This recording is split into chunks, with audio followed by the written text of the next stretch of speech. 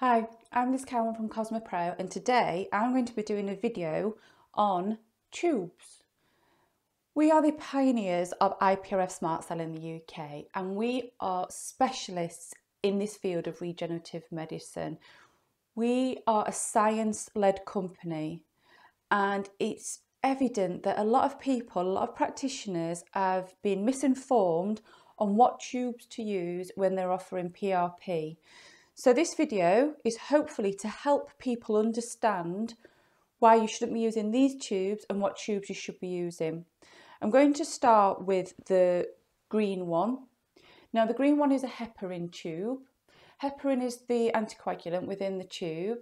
On the label it will actually say IVD on it. So all four of these are BD tubes. That's the brand of tube. There's different brands out there. I think the most common that people are using is BD. If you're buying off eBay and Amazon, then you really shouldn't be. So IVD stands for in vitro diagnostics. That means lab testing. IVD tubes are not licensed and they're not biocompatible and they're not tested for re-injection. So any autologous treatments, you should not be using an IVD tube the green one. This is the most common one, I think. Um, heparin tubes. Heparin can aggregate the platelets. So that means it makes the platelets sticky. Platelets are really, really small fragments of cells. They're very fragile. And if the platelets become sticky, they become heavier. And the chances are then when you centrifuge your sample, the platelets will spin down, you lose them. Secondly, the gel separator in a heparin tube, because these tubes are not licensed for re-injection, micro uh, particles can actually become loose and you will re-inject that into the skin and that is not safe for your client. So heparin tubes, like I say, they are IVD, they use an anticoagulant that can make your platelets sticky and the gel separators are not safe for autologous treatments. Okay, the next one these are the gold tops or yellow if you like and these are serum tubes. Serum is plasma once all the cells have been removed. So there's no fibrinogen, there's no clotting factors and there's no cells in serum. There's no anticoagulant in a serum tube, so your plasma will clot within three to four minutes. The gel separator is there because you do separate the cells, but because you're only ending up with serum, there's no regenerative properties to serum. So that kind of defeats the object of platelet-rich plasma because you need platelets. Okay, the next one, and I've seen these used, which is quite surprising. These are EDTA tubes. EDTA is the anticoagulant. These are used in haematology for full blood counts.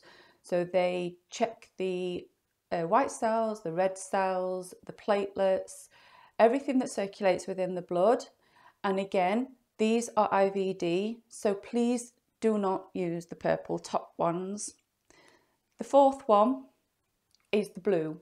These are sodium citrate tubes. Just bear in mind these tubes do come in different sizes, but these are sodium citrate tubes. Now sodium citrate is the anticoagulant that's commonly used in commercial PRP kits. It's a liquid anticoagulant, so it dilutes your PRP.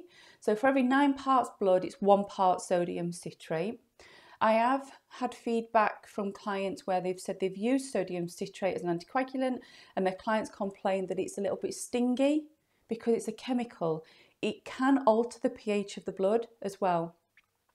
But these blue top tubes are IVD and these are generally used in coagulation and like I say, the sodium citrate can make it a little bit stingy, but ultimately all these tubes use anticoagulants. Now, if you're using a commercial PRP kit, that's great and at least you're following the regulations, but are you aware that anticoagulant inhibits the activation of platelets? So as platelets are circulating, they live for about 8 to 10 days. A new platelet a young platelet is larger than an old platelet, they actually decrease in size. But when a platelet is activated, it releases growth factors. And it's the growth factors that we actually need. Without growth factors, there is, there is no tissue regeneration. So with, that, with, with anticoagulants, because it inhibits activation, in a way your platelets are a bit useless without the growth factor release, which actually brings me on to platelet poor plasma as well. So if you're using a product that utilises platelet poor plasma, that's generally less than 5% of your baseline. So for every 100 platelets, you only get five. Now, this is a numbers game. We need platelets. We also need activation, which is why we do not offer PRP. We used to, but following extensive research and development and looking at the science, we only offer IPRF.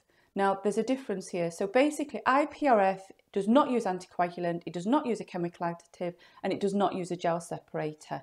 And the benefit of that is, think about your centrifuge. So when you put your blood sample in your centrifuge, you are separating your cells. With PRP, you spin hard. So you spin hard, separate your cells, your gel separator moves up. But what happens there is, because your platelets are so tiny and so fragile, you tend to spin your platelets out. So what, what happens is your platelets end up down here. But with IPRF, we spin slowly. We are using activated platelets. And what happens with IPRF is your platelets end up up here. Now, data actually shows that you harvest more than double the number of platelets with IPRF than you do with PRP. There's no chemical additives, but please make sure that you are using a class 2B medical device tube. So no matter if you, you, you want to do IPRF or if you want to do PRP, do not use IVD tubes. If you'd like more information on IPRF, you can go to www.iprfsmartcell.com. If you'd like to get in touch with anything that I've covered on this video, you can contact us at info at cosmopro.co.uk.